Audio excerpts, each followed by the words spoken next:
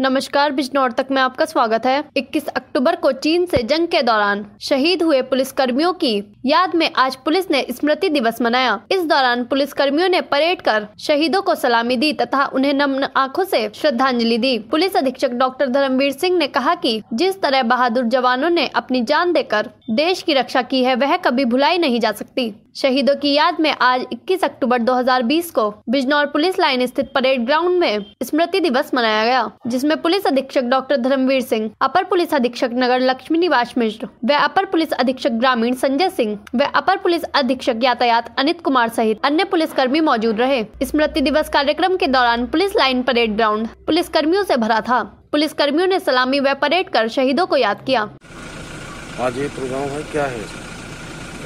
Police स्मृति दिवस पावन पवित्र दिवस जो शहीदों के सम्मान में पुलिस द्वारा मनाया जाता है।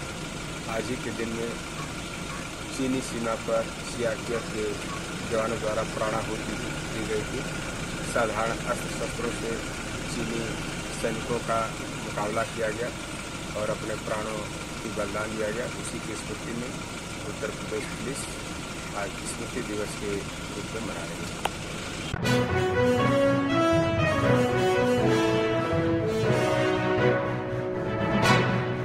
नमस्कार, बिजनौर तक में आपका स्वागत है। पुलिस अधीक्षक द्वारा अवैध शस्त्रों को खरीदने व बेचने वालों के खिलाफ चलाए जा रहे अभियान के तहत स्वाट टीम व धामपुर पुलिस ने ग्राम मिर्जापुर पल्लावाला में एक अभियुक्त के घर छापा मारते हुए अवैध शस्त्र के साथ आरोपी को गिरफ़्तार कर फैक्ट्री का भंडाफोड़ किया। पुलिस ने आरोपी को गिरफ़्तार कर जेल भेज दिया। पुलिस लाइन सभागार में पुलिस अधीक्षक डॉक्टर धर्मवीर सिंह ने घटना का खुलासा करते हुए बताया की धामपुर थाना प्रभारी अरुण कुमार, उप निरीक्षक जितेंद्र कुमार, अजय कुमार मिश्रा, आरक्षी नीरज, सहदेव, चालक पंकज शर्मा व स्वाट टीम प्रभारी मनोज परमार उप निरीक्षक संजय कुमार, दिग्विजय, आरक्षी मोनू, रणजीत, सुनीत, रईस व खालिद ने मुखबिर की सूचना पर ग्राम मिर्जापुर पल्लावाला निवासी करीमुद्दीन पुत्र अलीमुद्दीन के घर छापा मारा। छापे के दौरान टीम को घर में बने तहखाने में अवैध शस्त्र फैक्ट्री का संचालन करते हुए करीमुद्दीन को धर दबोचा। पुलिस ने मौके से तीन तमंचे 315 बोर एक तमंचा बारह बोर, तीन पुराने तमंचे, तथा भारी मात्रा में अर्धवने तमंचे, तथा शस्त्र बनाने के उपकरण बरामद किए। पुलिस पूछताछ में अभियुक्त करीमुद्दीन ने बताया कि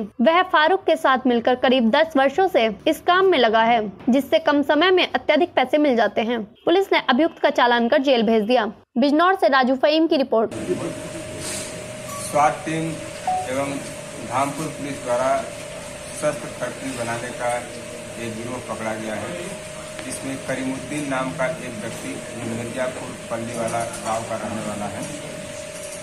बेसमेंट में लंबे समय से लगभग 10 वर्षों से तमंचा बनाने और बेचने का कार्य करता था। अभी तक ये पकड़ा नहीं गया था। मुखबरी की सूचना के आधार पर इनकी गिरफ्तारी हुई है। इनके कब्जे से चार चार तमंचे और भारी मात्रा में ऊपर बरामद हुए हैं। ये लगातार अपराधियों को शस्त्र बेचने की कार्रवाई ये करते थे। चार हज़ार, पाँच हज़ार, दस हज़ार जैसा ग्राहक लोग डिमांड जैसे थे, उसी अनुसार सप्लाई करते थे। उनकी गिरफ्तारी से उम्मीद है कि अपराध एवं अपराधी पर असर पड़ेगा। गिरफ़्तार करने वाली पुलिस टीम को दस हज़ार रुपये का इनाम दिया जाएगा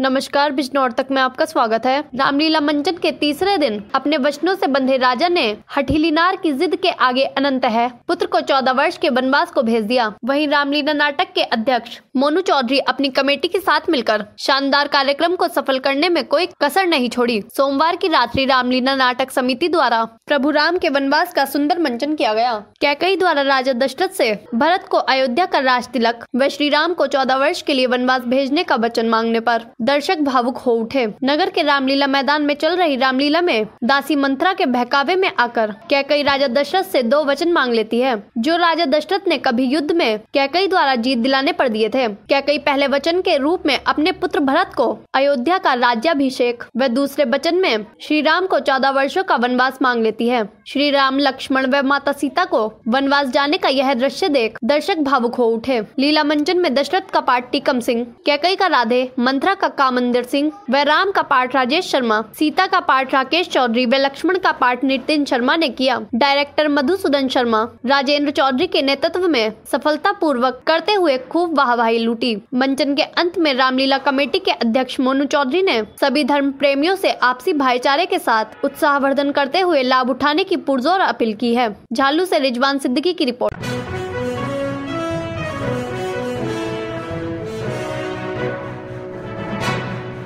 नमस्कार बिजनौर तक में आपका स्वागत है। नगीना पुलिस व स्वाट टीम ने मुखबिर की सूचना पर 25,000 के इनामी हिस्ट्री शीटर अभियुक्त को बड़ापुर रोड स्थित ईदगाह के पास से मोटरसाइकिल के साथ धर दबोचा। पुलिस तलाशी के दौरान उसके पास 500 ग्राम चरस व ढाई लाख जाली नोट बरामद हुए। पुलिस ने आरोपी का चालान कर जेल भेज दिया तथा नोट बनाने व छापने में लिप्त उसके साथियों की तलाश में पुलिस जगह जगह दबिश दे रही है। जल्द वह भी गिरफ़्तार कर लिए जाएँगे। पुलिस कप्तान डॉक्टर धर्मवीर सिंह ने पुलिस लाइन सभागार में आयोजित प्रेस कॉन्फ्रेंस में मामले का खुलासा करते हुए बताया की अभियुक्त शाहिद उर्फ़ पप्पी, पुत्र ताहिर, वांछित व हिस्ट्री शीटर बदमाश है, जिस पर पच्चीस हज़ार का इनाम भी घोषित है।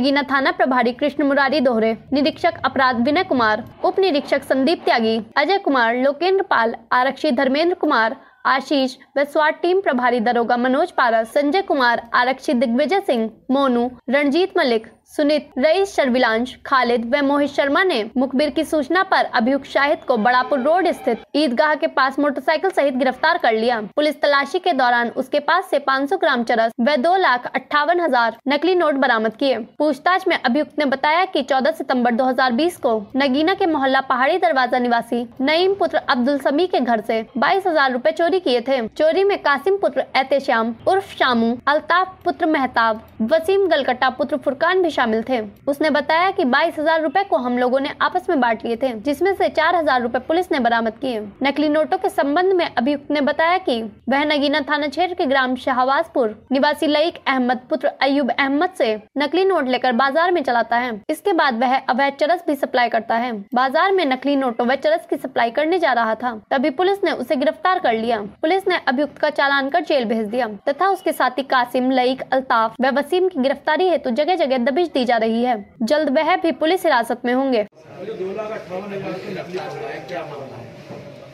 जनपद का टॉप टेन का अपराधेश शाहिद उर्फ़ पप्पी जिस पर पच्चीस हज़ार रुपये का इनाम भी था।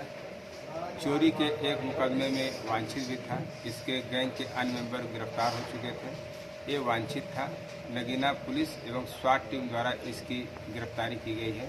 इसके पास से नकली नोट जिसमें 2000, 500, 200 रुपए के जो स्कैन करके लोगों में बांटते भी थे और अपना खर्चा चलाते थे। इसके साथ एक अन्य अभियुक्त लईक जो कोतवाली देहात क्षेत्र का रहने वाला है इनके कब्जे से मोटरसाइकिल दो लगभग दो लाख अट्ठावन हज़ार रुपया चरस और एक चोरी का जो माल था जिसमें वांछित था वो भी पैसा बरामद हुआ है।